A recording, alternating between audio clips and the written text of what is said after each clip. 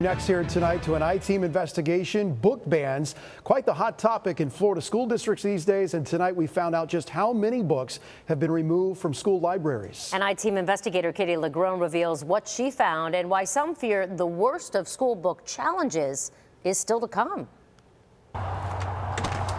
on a recent Tuesday night. It's not a healthy book to have on the library shelf. In Polk County. When we start taking away our children and our First Amendment rights. More than a dozen people gathered in a meeting room to discuss. Kids are already interested in those things. Books. Any wealth of knowledge, I believe, which is appropriate to be viewed uh, should be made accessible to all students. But a book club, this is not. I just don't see that it's it's an appropriate library book. Instead, these are members of the school district's recently formed book review committees, a voluntary group of educators, parents, community members, and students reading, reviewing, and offering their opinions over whether books that were available to students in some school libraries violate state law for being too sexually explicit or obscene for minors. I represent County Citizens Defending Freedom. Kathy Bucklew is among the district's voluntary book reviewers. Do you have a child in the school district? Not now. To date, these committees are reviewing 16 books in question, challenged by Bucklew's group, whose mission is to equip and empower American citizens to stand for and preserve freedom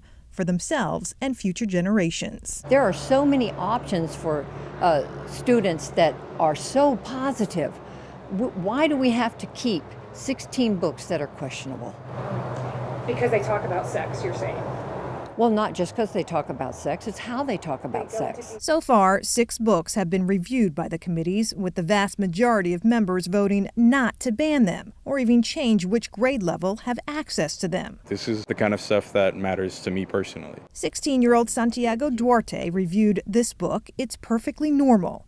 Aimed at children 10 and older, it's a frequent target of book bans for its descriptions of puberty, sex, and relationships, along with illustrations, including those of the LGBTQ community. It's a cartoon, it's harmless. And I disagree that it's a form of indoctrination or a, there's an agenda behind it. These are just normal people just like you and me.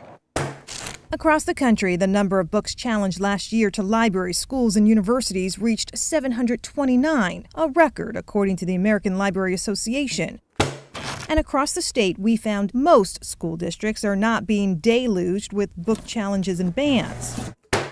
We polled Florida's 67 school districts starting in February. Of 45 school districts that responded to our requests, Seven districts reported book challenges, with most challenged over just a few books.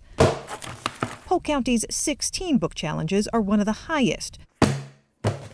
But Indian River County Schools has had by far the most of districts that reported to us. 156 books challenged by conservative moms group Moms for Liberty. One of its founders is a resident.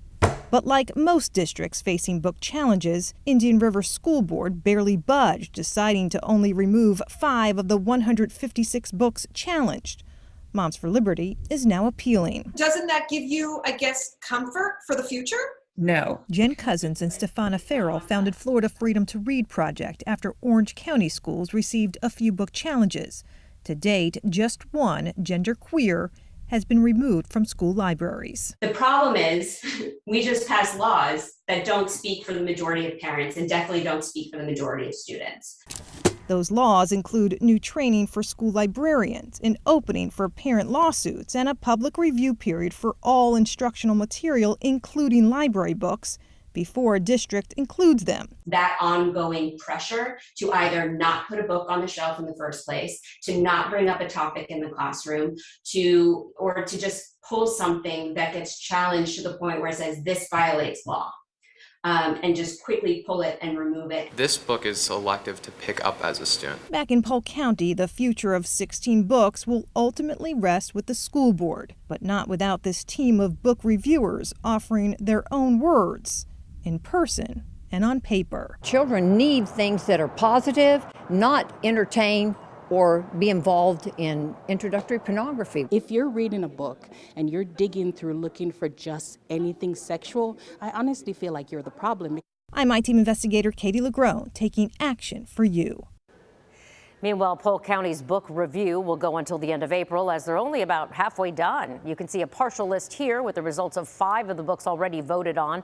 Beloved 19 Minutes and the Vincent Boys have been voted to be at high school level only. The Kite Runner can be read at the middle school level and George, the only book so far that can be accepted at all levels in a library. That's just to name a few, but we do have a full list on our website. Head over to abcactionnews.com.